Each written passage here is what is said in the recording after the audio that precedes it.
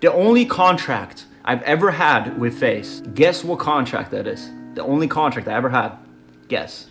The Tfue contract. It's the only contract I ever had with FaZe. As I was publicly defending FaZe on Twitter, everywhere, about that whole situation, I was in the same contract myself.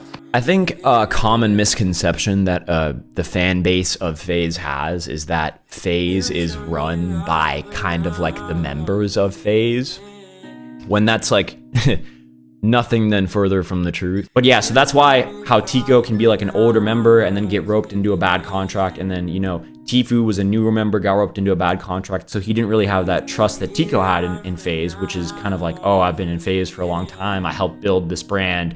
I don't think anything's gonna happen to me, even though I'm in this bad contract. So that's kind of, you know, and he just loved FaZe, you know. So he just, he just, I guess, you know, defend, continue defending FaZe.